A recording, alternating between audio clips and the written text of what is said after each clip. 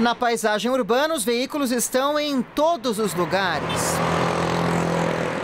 Para disciplinar essa realidade de milhões de veículos, o Brasil tem um conjunto de leis, o Código de Trânsito Brasileiro, que no último fim de semana completou 19 anos no país. Ele estrutura o Sistema Nacional de Trânsito, distribuindo bem as responsabilidades que todos têm dentro dessa grande estrutura que é o trânsito brasileiro.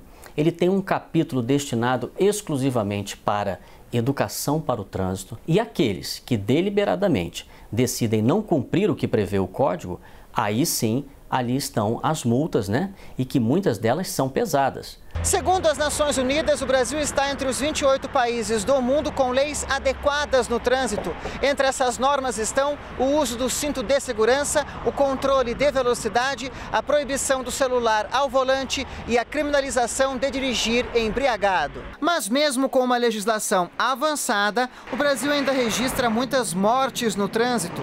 Segundo o Ministério da Saúde, foram quase 44 mil vítimas fatais em 2014. O nosso motorista é muito inocente. Eles não, eles não avaliam muito as situações de risco. E essas situações são extremamente comuns. Então, nós temos muitos acidentes nas rodovias. E que local de, de, de rodovias que mais ocorre o um acidente? Nas lombadas, nas curvas. Né? E, e, o motorista tem que ter essa, essa sensibilidade. E para evitar acidentes e mortes, a legislação se modernizou nos 19 anos de Código de Trânsito Brasileiro.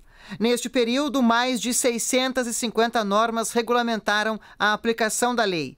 Nas autoescolas, por exemplo, aumentou o número de aulas teóricas e práticas para tirar a carteira de motorista. A gente pode perceber que nas mudanças que vem ocorrendo, está tendo assim, é, uma grande melhoria do que era no passado.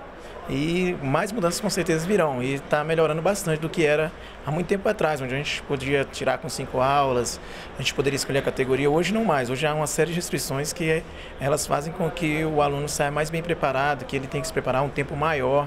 Então você não coloca um aluno tão inexperiente no trânsito. Este estudante está tirando a carteira de motorista para carro e quer levar para a rua o que aprendeu em sala de aula. A gente tem que principalmente proteger aqueles que estão em def... mais de... indefesos no trânsito, os pedestres, os motociclistas e essa parte de sempre tentar evitar acidente.